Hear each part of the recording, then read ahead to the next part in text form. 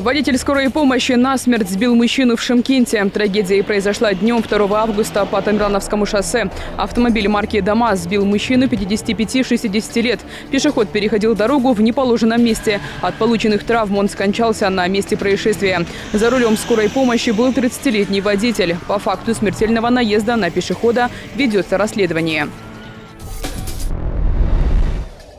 Пожар произошел 5 августа в микрорайоне Бузарык в Шымкенте по улице Уста Мухаммеда. Под навесом загорелся сухостой. Огонь распространился на площади 40 квадратных метров. Пожар удалось потушить в течение получаса.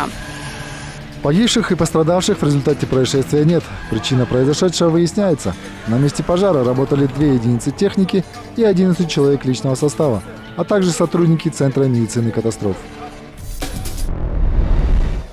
Еще один пожар произошел в микрорайоне Кайтпас-1 по улице Жадыра. Огонь охватил крышу жилого двухэтажного дома. К приезду пожарных огонь успел распространиться на площади в 250 квадратных метров. Пожар тушили около получаса. Пострадавших нет, жильцы успели вовремя покинуть дом. Огонь тушили 29 сотрудников и 5 единиц техники. Больше 60 тонн филе судака незаконно экспортировали из Казахстана в страны Евросоюза. Общая стоимость рыбной продукции превысила 200 миллионов тенге. Расследование по факту крупной контрабанды завершили в агентстве по финмониторингу. Как выяснили следователи, предприниматель на протяжении года покупал незаконно выловленную рыбу и отправлял ее в страны ЕС. Подложные документы о происхождении рыбы предоставляло крестьянское хозяйство, у которого не было возможности искусственно разводить судака. Подозреваемого оштрафовали почти на 3,5 миллиона тенге. В доход государства взыскали и таможенную стоимость реализованной рыбной продукции.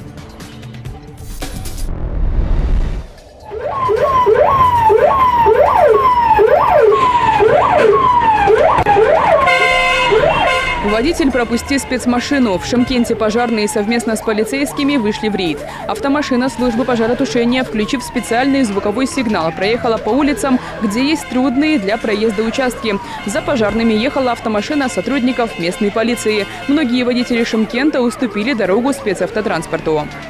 При приближении транспортного средства с включенными проблесковым маячком синего цвета и специальным звуковым сигналом водители обязаны уступить дорогу для обеспечения беспрепятственного проезда указанного транспортного средства. Так гласят правила дорожного движения. К сожалению, не все водители считают своим долгом пропустить спешащий на вызов спецавтомобиль. Результат – пожарные не могут оперативно прибыть на место вызова и своевременно ликвидировать ЧС. Однако среди водителей были и те, кто не пропустил спецавтотранспорт. В отношении двух нарушителей сотрудники полиции составили административный протокол. Некоторые водители не пропускают нас на дорогах, а ведь мы торопимся на вызов, чтобы ликвидировать пожар. Обращаюсь к автовладельцам с просьбой быть внимательными на дороге. Наша помощь может понадобиться каждому. Водителей, которые не уступают дорогу спецавтотранспорту, привлекают к административной ответственности. Это нарушение влечет штраф в размере 7 месячных расчетных показателей.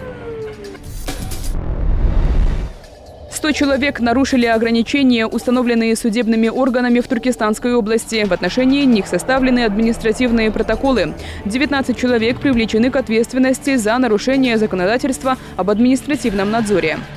На территории Туркестанской области проводились ОПМ подучетный элемент, направленный на профилактику рецидивной преступности, выявление и постановки на профилактические учеты лиц, склонных к совершению правонарушений, а также их дальнейшую проверку по месту жительства. Также полицейскими проводится разъяснительная и профилактическая работа с целью предотвращения административных и уголовных правонарушений, а также оказания социально-правовой помощи. Подобные мероприятия будут продолжены и в дальнейшем.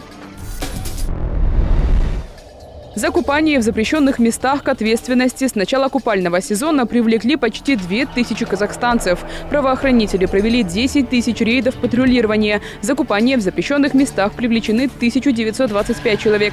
За распитие спиртных напитков 785 человек. За мелкое хулиганство 475. Ежедневно задействуется свыше 15 тысяч сотрудников полиции и военнослужащих Нацгвардии. Перекрывается более 4 тысяч маршрутов. С наступлением лета в местах массового отдыха увеличена плотность снарядов. Личный состав обучен навыками спасения людей из воды и оказания первой медицинской помощи. Автопатрули оснащены средствами оказания помощи утопающим, спасательными кругами, жилетами и веревками. Совместно с подразделением чрезвычайной ситуации обеспечивается обход береговых линий, рейды, рейды по неподопущению нарушения правил поведения на водоемах и распитию алкоголя. Разъяснительная работа с родителями по контролю за детьми. Наблюдение водоемов камерами Центра оперативного управления. Специалисты напоминают о необходимости соблюдать простые правила безопасности на водоемах, не купаться в состоянии алкогольного опьянения в неустановленных местах и не оставлять детей без присмотра.